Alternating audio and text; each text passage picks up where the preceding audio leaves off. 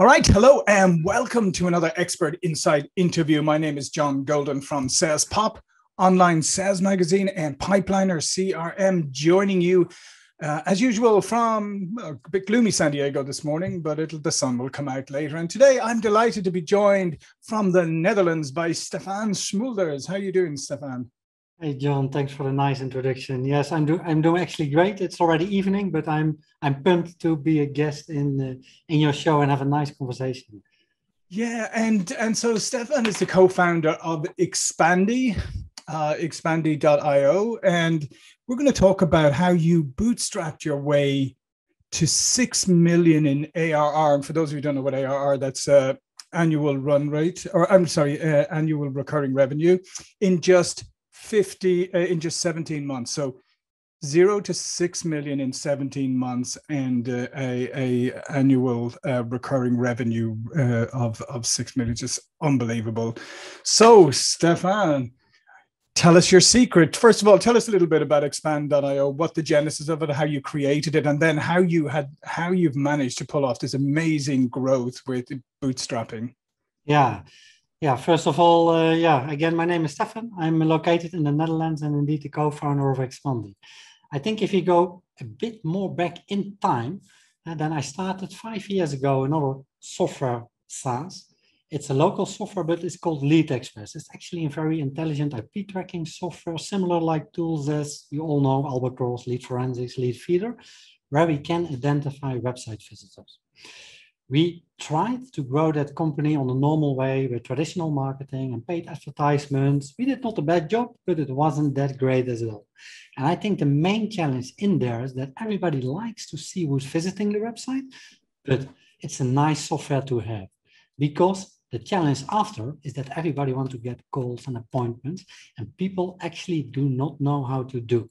So they try to pick the phone, they call to the reception. Hey, John, it's Stefan here. I saw some of your colleagues visited my website. Can you please forward me to them? Stefan, I really don't know what you are talking about. Yeah. And then it answered. The customers are blaming to me, Stefan, you have a nice software, but it's not working for us.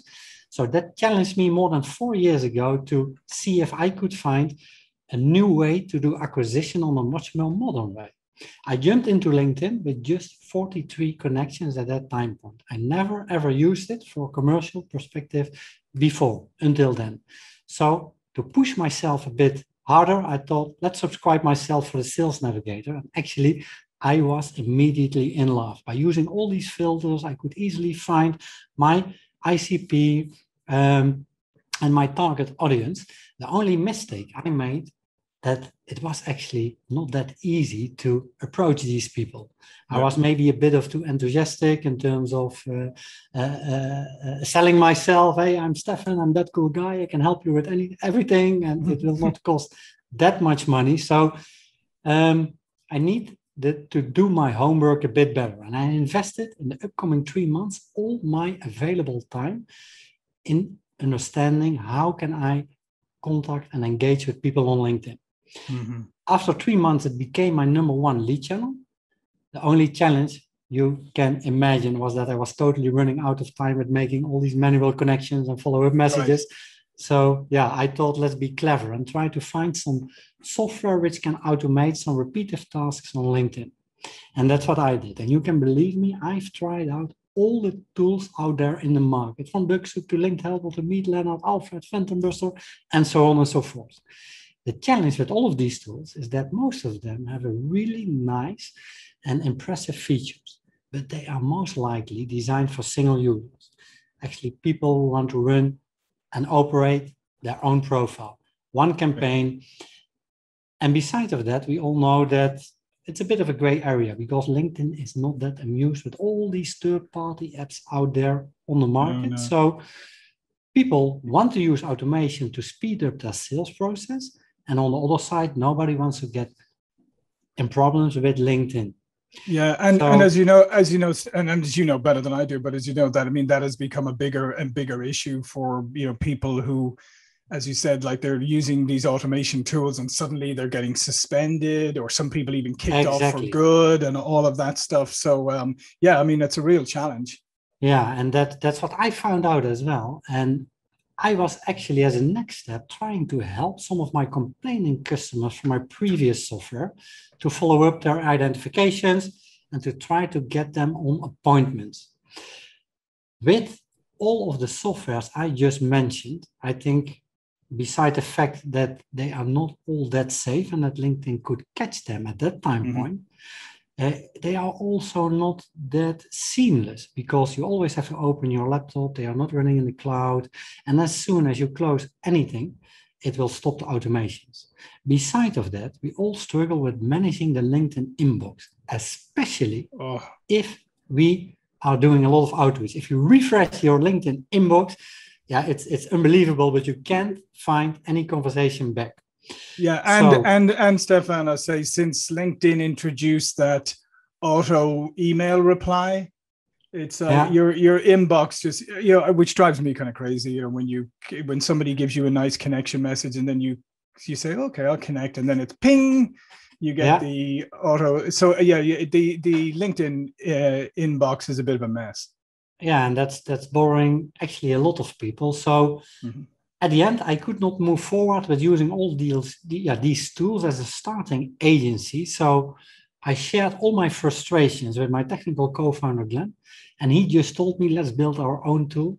Let's make it real safest software out there. We make it cloud based we provide every user with a dedicated and country based ip so nobody has to be worried anymore about getting in troubles with linkedin.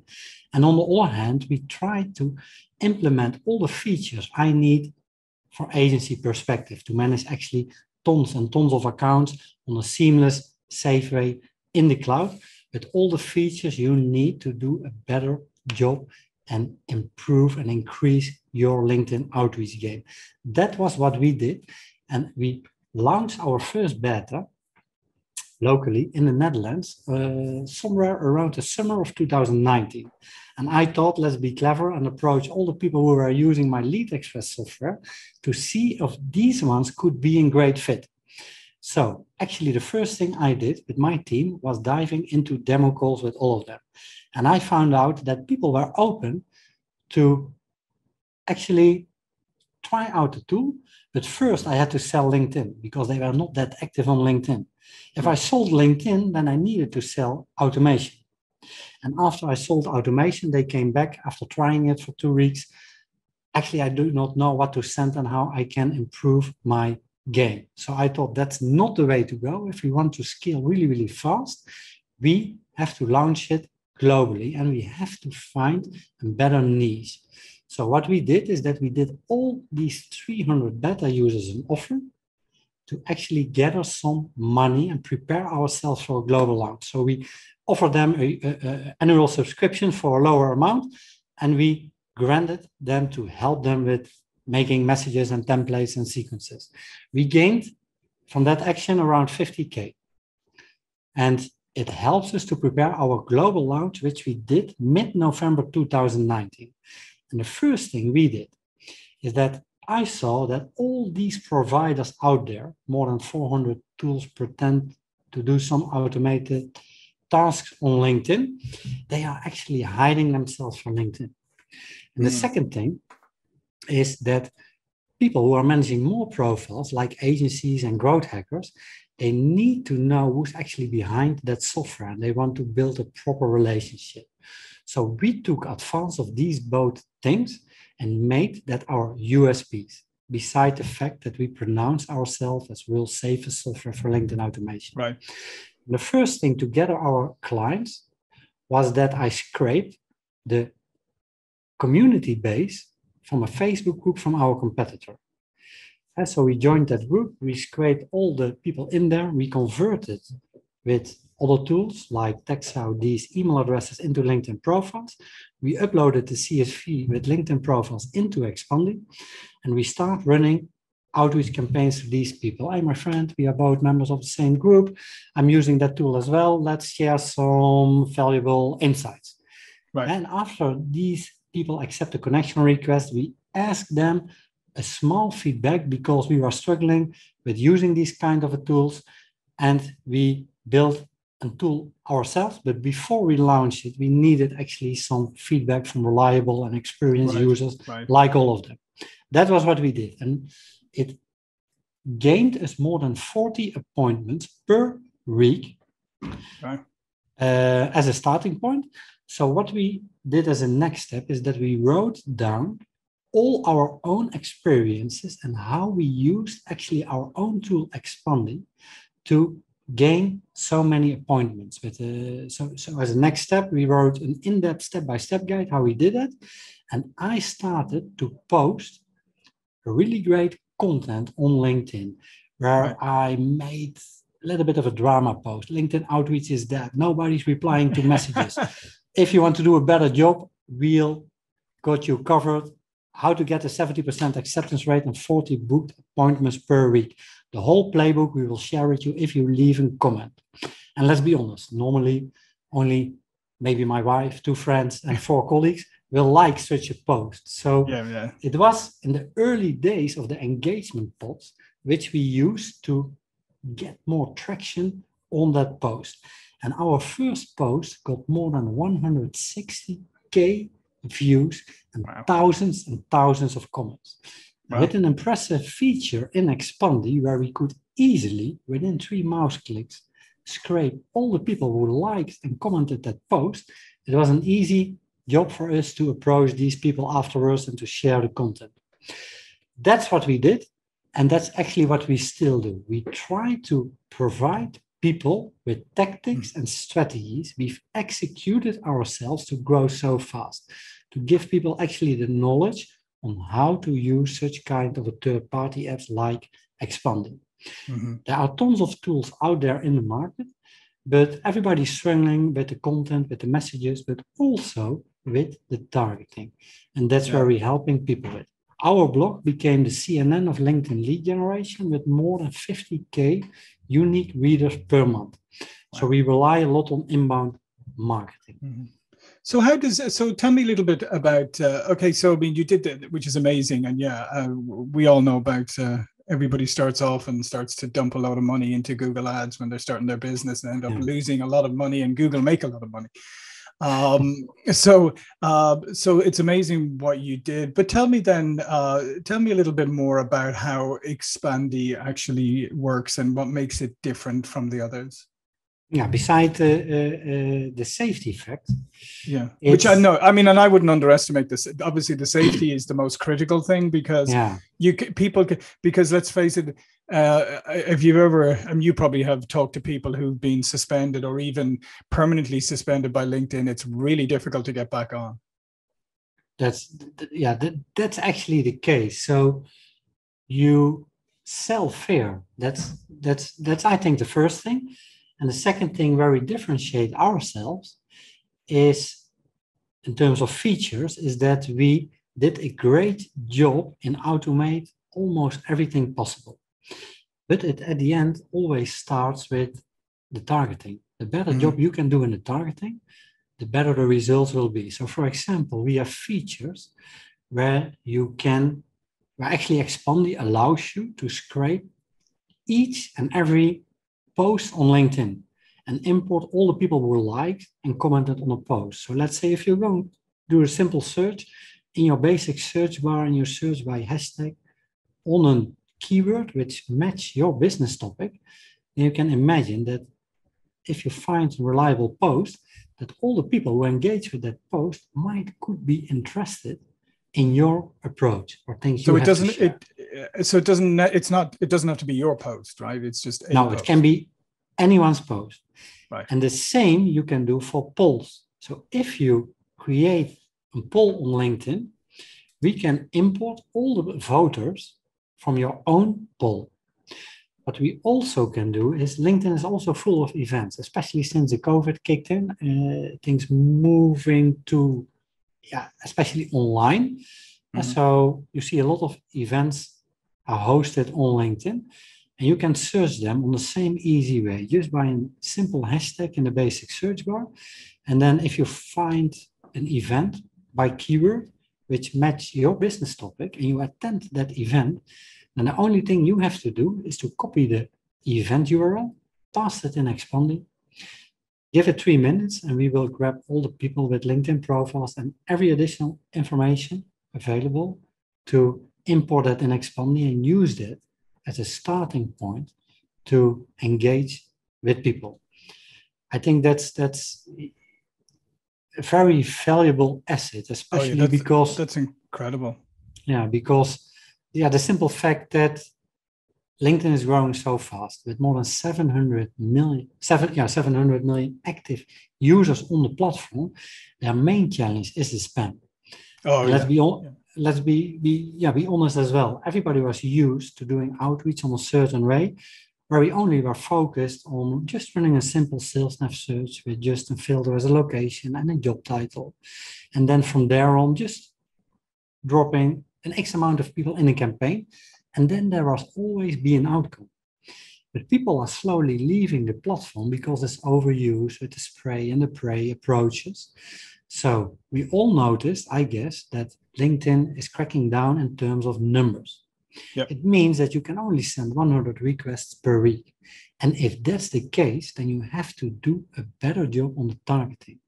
Yep. So the better searches you can make with the examples I just shared, the more qualified the audience will be, and the high, and yeah, it will actually increase the chance to approach them. And beside all the facts that we can personalize everything with images and GIF animations, and to make it more human. Mm-hmm. So, so what's your next? So once you, you know, once you find the targets, um, what's what's the process then for the elegant engagement with with your target?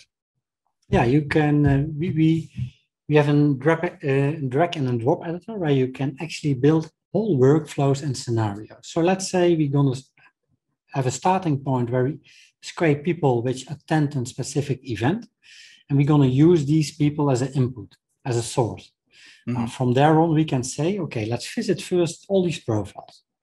And if these people visiting back within two days, then we want to like their latest posts. And from there on, we can say, okay, as a next step, we want to follow these people. And from there on, we can say, okay, let's see if its a profile has an open status. And if that's the case, we can send a free open email without using credits. And if the profile is not open, we can grab the email address. And because we have a native uh, uh, email integration by SMTP, uh, we can send an email. And if they not reply on the email within a specific or certain amount of days, then we can say, okay, then I want to try to make a connection request.